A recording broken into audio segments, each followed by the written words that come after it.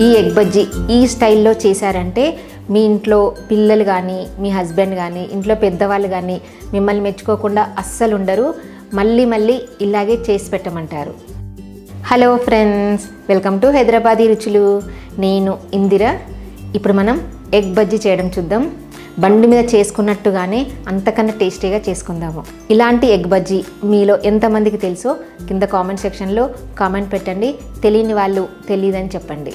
ఇప్పుడు ఎగ్ బజ్జీ ఎలా చేయాలో చూద్దాం. ఎగ్ బజ్జీ కోసం నేను ఎగ్స్ ఉడికించి పెట్టుకున్నాను. ఇప్పుడు బజ్జీలు చేయడానికి బ్యాటర్ కలుపుకుందాము. ఒక మిక్సింగ్ బౌల్లో వన్ కప్ శనగపిండి వేసుకోవాలి. దాంట్లో పావు కప్పు బియ్యం పిండి వేసుకోవాలి క్రిస్పీనెస్ కోసం. హాఫ్ టీ స్పూన్ వాము వేసుకోవాలి. కొంచెం క్రష్ చేసుకొని వేసుకోవాలి. పావు టీ స్పూన్ పసుపు వేసుకోవాలి. టేస్ట్ తగినంత సాల్ట్ వేసుకోవాలి.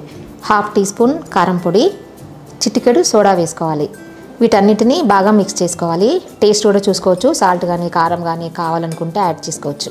కొన్ని కొన్ని నీళ్ళు వేసుకుంటూ కొంచెం దోశ పిండి కన్నా కొంచెం గట్టిగా కలుపుకోవాలి. బ్యాటర్ చూసుకుంటూ కలుపుకోవాలి. సాల్ట్ సరి చూసుకోండి.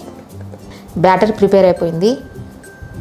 మనం ఉడికించుకున్న ఎగ్స్ ఎగ్ని దీంట్లో డిప్ చేసుకోవాలి.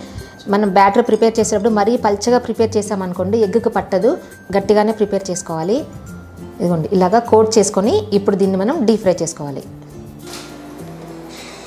ఆయిల్ బాగా వేడెక్కిన తర్వాత వేసుకోవాలి.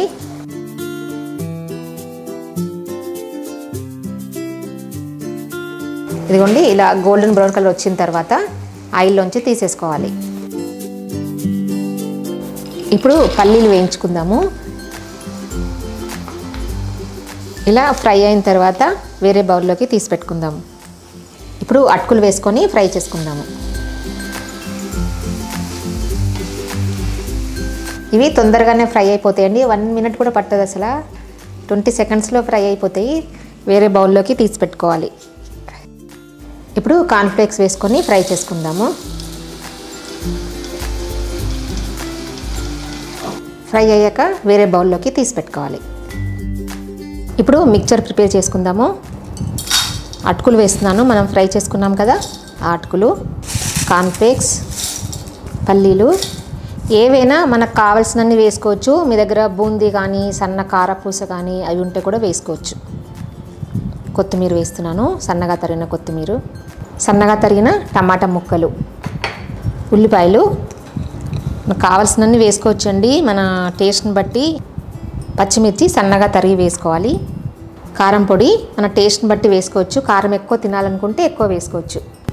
సాల్ట్ టేస్ట్ తగినంత chaat masala half teaspoon ఇవన్నీ బాగా మిక్స్ చేసుకోవాలి.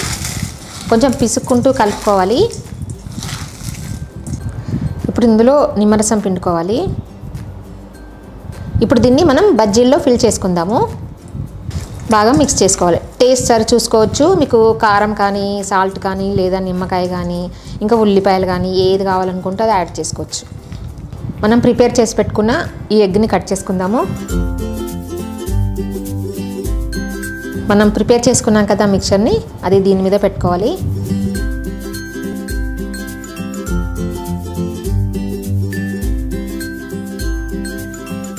అంతే. చూశారు కదా? ఎగ్ బజ్జీ ఎంత ఎమ్మి ఎమ్మిగా ఉందో? నిజంగానే ఇలా చేస్తే కనుక మీ ఇంట్లో అందరు మిమ్మల్ని మెచ్చుకుంటారు. అసలు మెచ్చుకొని వాళ్ళే ఉండరు. అంత టేస్టీగా ఉంటుంది. చేసి ఎలా ఉందో నాకు కామెంట్ సెక్షన్లో కామెంట్ పెట్టండి. చాలా అంటే చాలా టేస్టీగా ఉంటుందండి. నేను టేస్ట్ చేసి చెప్తాను. నేను అస్సలు ఆగలేకపోతున్నా. ఎప్పుడెప్పుడు తినేయాలా అనిపిస్తుంది.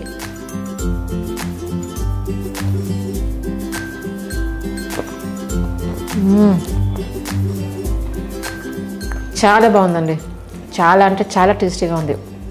అసలు మనం బయట బండి మీద తినే కన్నా ఇలా ఇంట్లోనే మనకు కావాల్సిన మసాలాలు వేసుకుని తింటే ఇంకంతకన్నా ఏం కావాలి చెప్పండి? నచ్చిందా? నచ్చిందని అనుకుంటున్నాను. ఈ వీడియో నచ్చినట్టయితే కింద లైక్ బటన్ కనిపిస్తుంది కదా?